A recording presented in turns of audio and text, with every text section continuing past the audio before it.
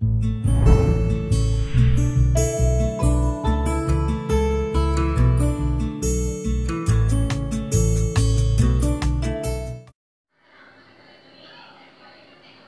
দইয়ের স্বাস্থ্য উপকারিতা বিষয়ক অজানা তথ্যাদি।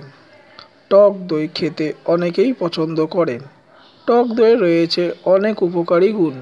সম্প্রতি গবেষণায় দেখা গেছে, টক দই রক্তের ক্ষতিকারক কোলেস্টেরল এলডিএল বা ভিএলডিএল কমাতে সাহায্য করে।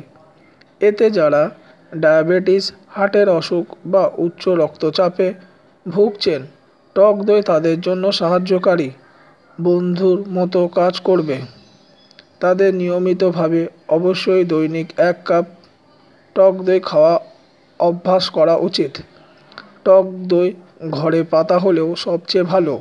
গ্রীষ্মকালে দেহের জন্য অন্যতম আদর্শ খাদ্য টক দই। এটি অত্যন্ত পুষ্টিকর।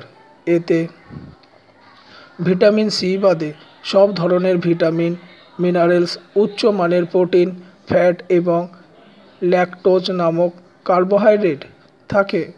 অনেকের দুধ খেলে সহজে হজম হয় না। তাদের জন্য টক দই উপযুক্ত। টক দই আমাদের দেহের তাপমাত্রা নিয়ন্ত্রণ করে কোষ্ঠকাঠিন্য দূর করে, শিশুদের মস্তিষ্ক সুগঠন করে, দেহের সঠিক বৃদ্ধি বজায় রাখে। এছাড়া বিভিন্ন রোগ প্রতিরোধে সাহায্য করে।